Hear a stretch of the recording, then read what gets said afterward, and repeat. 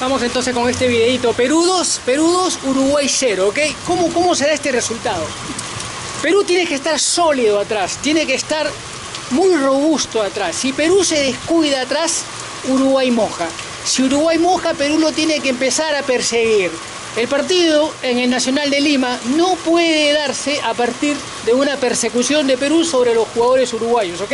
Esto tiene que quedar muy claro. Si Perú está bien atrás, si Perú, lo vuelvo a repetir, si Perú está bien atrás, entonces, si Gallese tiene la capacidad de medir el arco, con la mano derecha medir todo el ángulo derecho, con la mano izquierda medir todo, todo el ángulo izquierdo, medir bien el parante, entonces Gallese va a estar preparado para cualquier intromisión uruguaya, pero tiene que estar, tiene que estar toda la plataforma de defensa bien, bien, bien posicionada. Si estamos bien atrás, si estamos bien atrás, va a haber circulación de pelota en el medio campo para poder dar las asistencias. Es así, es así como Carrillo, como La Padula, eventualmente Guerrero, Ruiz, Guerrero, Guerrero o Ruiz Díaz podrían repetir. La Padula no está para este partido, queda claro, tiene acumulación, acumulación de tarjetas amarillas. Pero en ese caso, Carrillo, Guerrero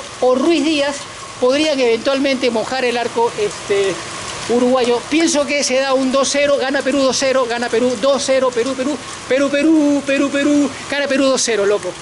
Arriba Perú, vamos, vamos, vamos que ganemos, vamos que ganemos. Adiós, adiós.